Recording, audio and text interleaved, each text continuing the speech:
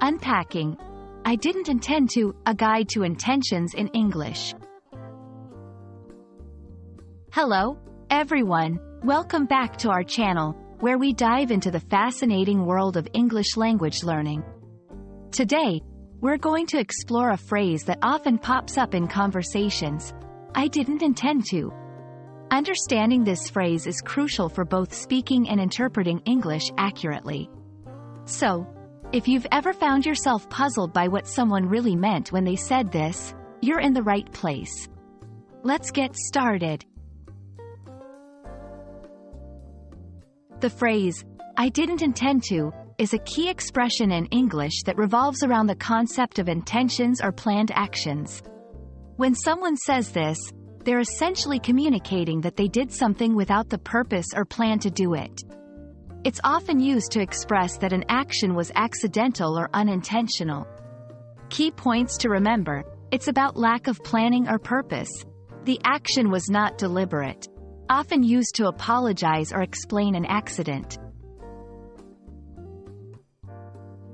To fully grasp how, I didn't intend to, is used, Let's look at some common scenarios where this phrase might come into play. Scenario 1. Apologizing. Imagine you accidentally spilled coffee on a friend's book. Saying, I didn't intend to spill coffee on it, helps convey that it was an accident, not a deliberate act. Scenario 2. Explaining misunderstandings. Suppose you made a joke that someone found offensive. Saying, I didn't intend to offend you, clarifies that hurting their feelings was not your goal. Scenario 3. Clarifying actions. If you took someone's words out of context without meaning to, stating, I didn't intend to misinterpret what you said, helps clear up that it was a misunderstanding, not intentional miscommunication.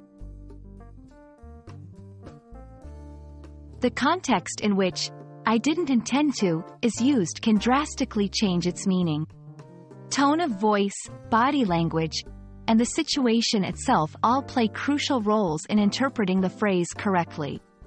Tips for understanding. Listen to the speaker's tone. Observe their body language. Consider the situation or context of the conversation. Understanding the phrase, I didn't intend to, is essential for navigating the nuances of English conversation. It's a powerful expression for conveying that an action was accidental or unintentional. We hope this video has shed light on how to use and interpret this phrase correctly. Remember, effective communication is key to mastering any language. Thanks for watching, and we hope to see you in our next video. Remember, Every step you take in learning these subtleties brings you closer to fluency in English. Keep practicing. And don't hesitate to use, I didn't intend to, when you find yourself in a situation where it applies. Happy learning!